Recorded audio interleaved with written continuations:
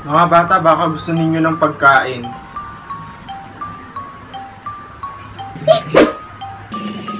Pagdadala pa sa akin? O gusto pa dalawa pataguto mo. Okay lang yan. Kahit damihan pa niyang pagkuha. Ingit ka lang. Hmm, ang sarap.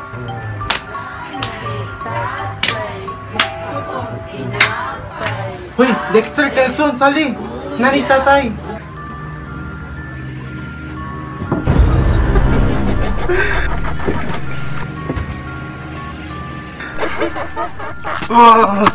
Oy, oh Mare!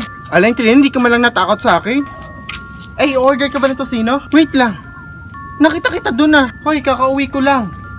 Papunta pa lang ako doon sa bahay, oh. Hala, sino nakita ko doon sa may bahay ninyo? November 1 pa naman ngayon. Kumakalit mga double ganger. Ano nakita? Sino nakita mo? Tanong natin sila Kelson. Nakita ka nila doon dahil nakita ko sa